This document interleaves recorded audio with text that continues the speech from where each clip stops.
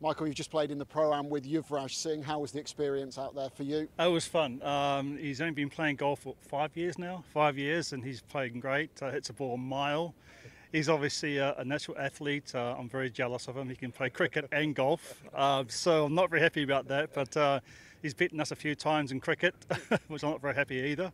But it was a lot of fun. Um, it's uh, it was a pleasure to play with him. Yuvraj, how much did you enjoy that experience? Yeah, it was lovely playing with Michael. Uh, obviously, uh, very easy for him and a grind for us out there. And uh, but it was a great experience. Learned a few tips, and uh, yeah, look forward to tomorrow. And uh, as he said, that New Zealand has we have beaten New Zealand a few times, but the Kiwis have also beaten us a few times in crunch games, like the World Cup semi-final. So it's even. But uh, great playing with him, and uh, look forward to tomorrow. Yuvraj, what did you think of the golf course here at JP Greens? Uh, that you can ask Michael. For me, it was it was wet. It was tough lies. Uh, I think I I think I did pretty okay, but hopefully I can do better tomorrow. Save some shots, and uh, I'm sure Michael must have shot two or three under. So just a day out for him.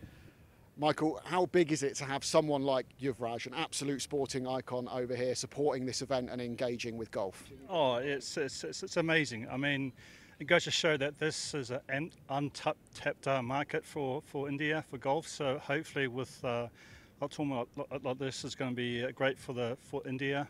I know cricket's the biggest uh, sport in India, but I think uh, you know if uh, we can somehow give the opportunity for kids to play golf as well, I think it'd be great. Yuvraj, how important is golf for you and how much do you enjoy it as an escape and a, a way to just relax away from cricket? Well, I was discussing with Michael. Should have started early, and uh, you know it's uh, it's great that you know sometimes when you're playing cricket, go and play golf. Just frees up your mind with your mates. And as Michael said about you know untapped market India, I think the golf is becoming big in India now. Like our guys like Shubhankar Sharma, Karandeep Kochhar are on you know on the European tour. They're playing well, and hopefully as if great players like Michael and other players like Jeev spend more time with the kids over here, I'm sure we'll get some uh, great talent out here.